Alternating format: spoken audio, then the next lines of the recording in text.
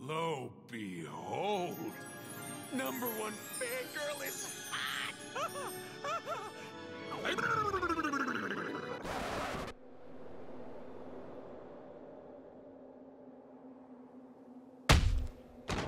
I'd ask what that was about, but I don't want to know. Time is short. We need to get you to Magneto's old citadel across the island. Stupid fantasy! Don't worry, we'll land a real girl someday. This is our game, after. Wade, are you listening? Don't even bother with that security tower.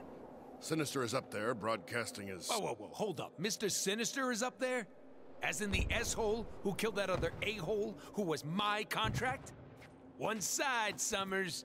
I got me some business to finish. Damn it, Wade, stop! We don't have time to mess with the security towers.